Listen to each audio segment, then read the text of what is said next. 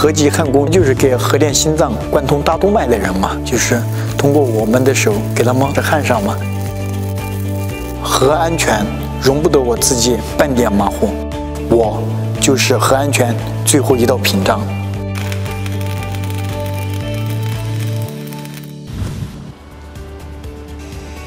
我是耳机，来自四川省的阿坝藏族羌族自治州。我今年是二十五岁，是中核二三田湾的一名核基管道焊工。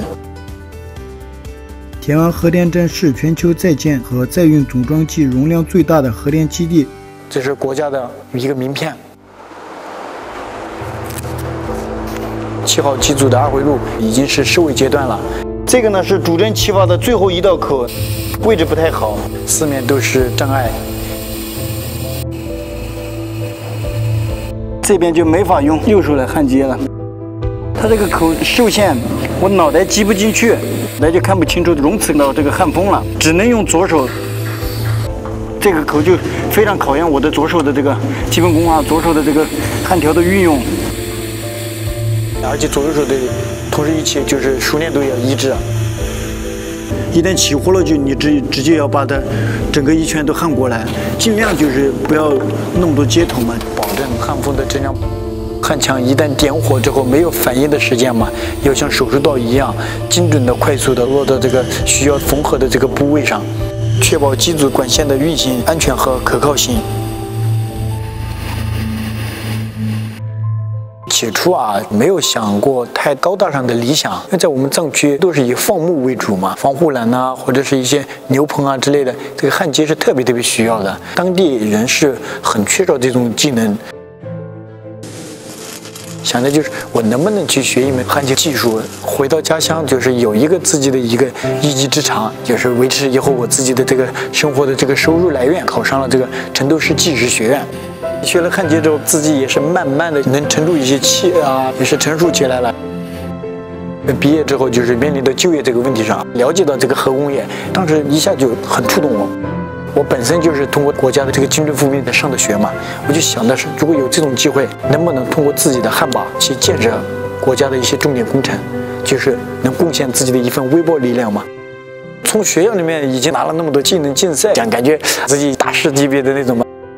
当时以为觉得来了我就可以下现场干活，来了之后他们才跟我讲，这个要考取国家核安全局颁发的一个核技焊工资质证嘛。在来了核电之后，上的第一堂课是我师傅的课。他说，我们干的这份实业不单单是一份工作，更多的是一份责任感。为啥就焊工的这个代号要打到管子上去？刚点焊起呼的那一刻起，就是一种责任感就要上来了，因为我们人人都是核安全最后一道的屏障嘛。然后我就转变我自己的心态，静下心来跟师傅们细心请教去求学嘛。创造了我们公司考试最短的一个记录，也是三个月就考取了这个核安全局颁发的这个核技焊工资质证嘛。我现在从最小的管儿，再到最大的管儿，再到主管道，我呃一共能焊的这些针有十四个。这个焊接手的这个灵活度是非常非常重要的。平时拿零点八的一个小管去粘，但凡稍微停留那么一会儿，温度稍微的高那么一点，好，里面就穿了，里面就堵塞了。所以说我一般都会去粘一粘手的这种技巧啊，有灵活的这种状态。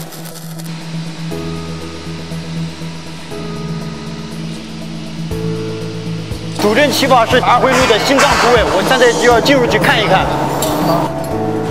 二回路的难点是它还需要加热，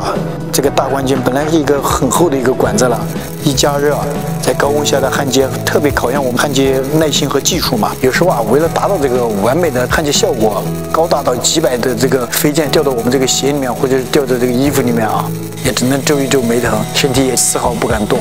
生怕就是那道焊缝就焊 不好嘛。一天工作完成，这以前的旧伤疤交替一些新的伤疤，这也是一名合金管道焊工的一个荣耀嘛。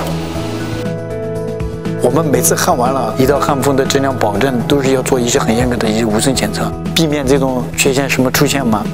这一趟管百分之八十都是我给他焊的，再看一看自己的感应号，还是比较有欣慰感的。这个管子就是要把它干成百分之百，但凡干错一点，那就是我一辈子的耻辱啊。焊的那样高低不平的，尽可能就是每一点打的这个频率啊，还有这个透出去的这个容次要抑制，我们要多注重它这个细节嘛。我有两个徒弟嘛，以前我也是这样打拼出来的嘛，更多的是在他们身上能看到我的影子嘛，一起去探索这个焊接上的一些新的一些问题啊，新的挑战。八号机组也要进入到这个主管道的一个高峰期。据目前来说，这个堆芯的这个主管道是最厚的，七十个厚，只能用传统的手工焊，难度就特别大。